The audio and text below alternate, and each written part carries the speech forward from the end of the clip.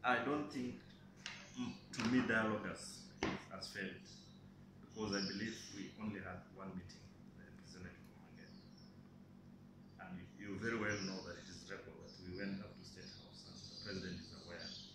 The president promised to, that his office will handle the situation. So to me, uh, I don't think, there's no any other way out because force is not a solution. It has to be there. We have to.